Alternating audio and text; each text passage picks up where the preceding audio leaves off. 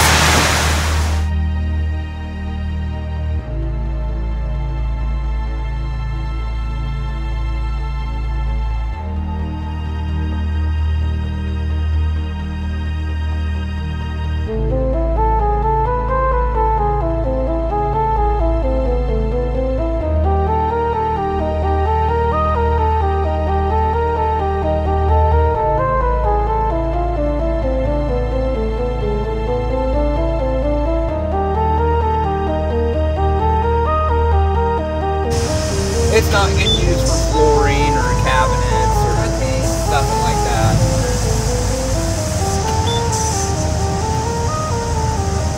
It's a cheaper wood. It's not worth a lot on the market.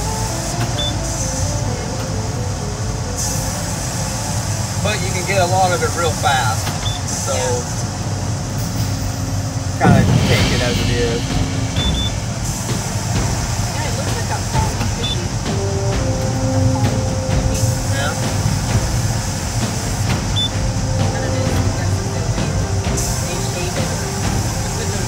Yeah, see, usually the bark on there, it's real thick, so they really got to peel that off there.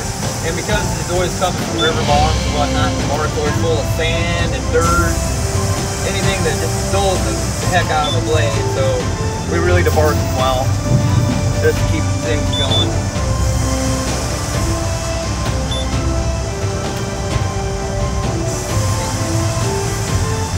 Took a long time to learn how to go with this and do it right. I, oh, let's say, I came from another mill, and it was a different setup, but, you know, once you learn how to turn a log, that's the biggest thing. It's, you, a lot of guys can go fast, but if they don't, if they keep cutting junk like that, they're not any good. It's, it's finding the nice, pretty wood all the time, and being fast.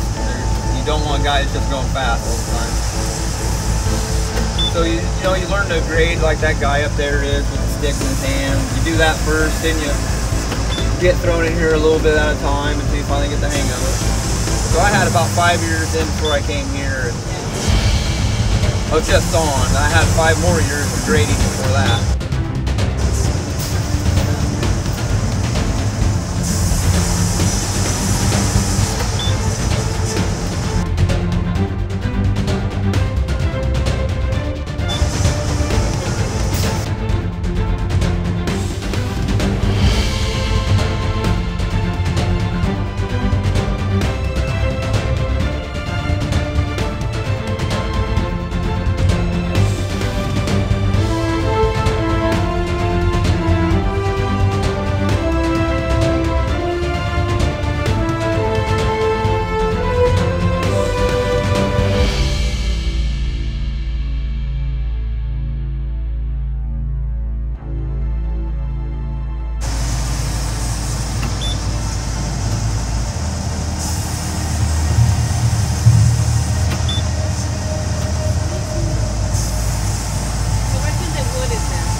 Cottonwood.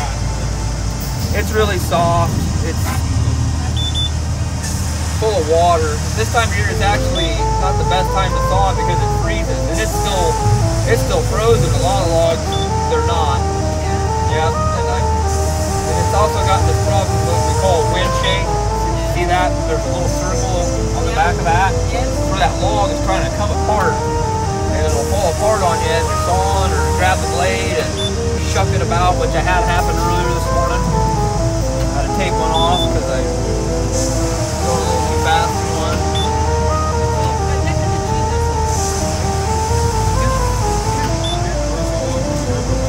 Yep, it's got to have a lot of water. It grows really big and really fast. All right.